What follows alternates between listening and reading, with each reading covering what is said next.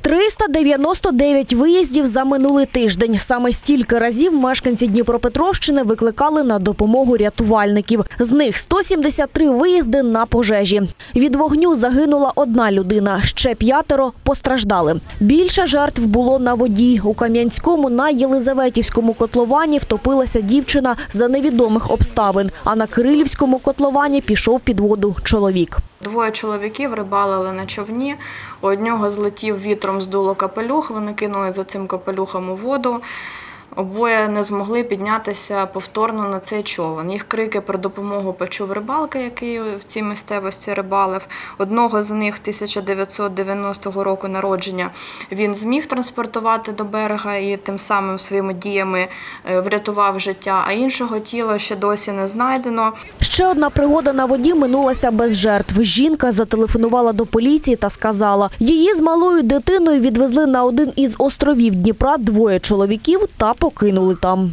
Пояснила, що її сюди привезли на гумовому човні. Двоє її знайомих чоловіків е, відпочивати збирались. Одного з них був день народження.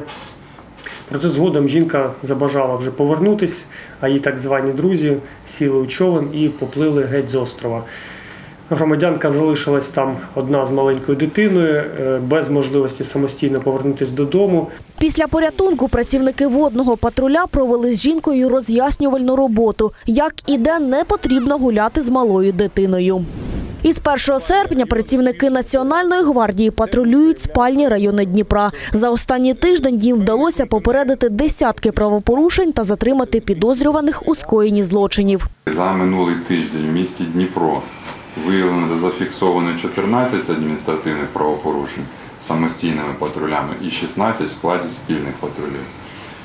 Також проведено 6 затримань за підозрою у скоєнні кримінальних злочинів, 3 самостійними патрулями і 3 спільними з представниками Національної поліції. І щодо гральних автоматів, у планах поліції до кінця місяця закрити майже 600 місць, де відбуваються незаконні ігри на автоматах. Усі підсумки цієї роботи будуть висвітлені у пресі. Аліна Мирко, Юрій Краснощок, Open News, телеканал відкритий.